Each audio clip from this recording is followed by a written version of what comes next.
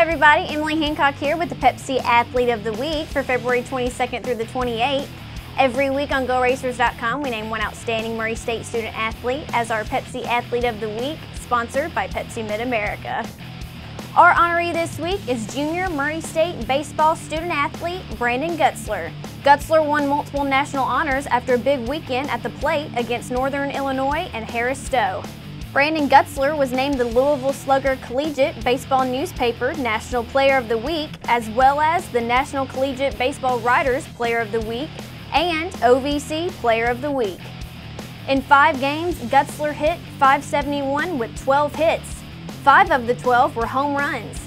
Gutzler hit three homers in three straight at bats against the Huskies, and for the week, he drove in an amazing 22 runs.